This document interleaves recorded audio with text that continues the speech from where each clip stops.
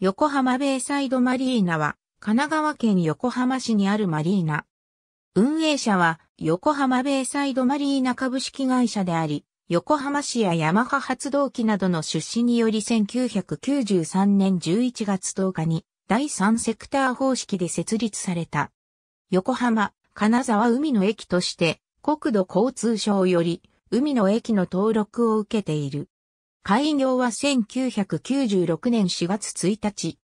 A バース6メートル、S バース44メートルクラス用の1378区画のほか、ビジターバースが約20席分あり、さらに給油施設や船舶メンテナンス施設を備える。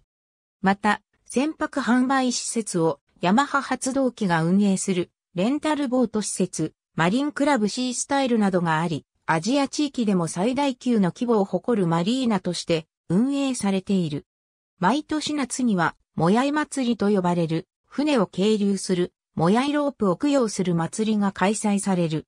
様々な出店やライブ、数百発の花火の打ち上げなどが行われ多くの観客を集めている。また年末には係留されているヨットやクルーザーにイルミネーションが灯される。2012年3月からジャパンインターナショナルボートショーの第2会場となった。このほか、桟橋にて、毎年9月下旬10月上旬頃、横浜フローティングヨットショーが開催されている。当施設の周囲には、各種ブランドのアウトレットショップや、レストランなどからなる、三井アウトレットパーク、横浜ベイサイドがある。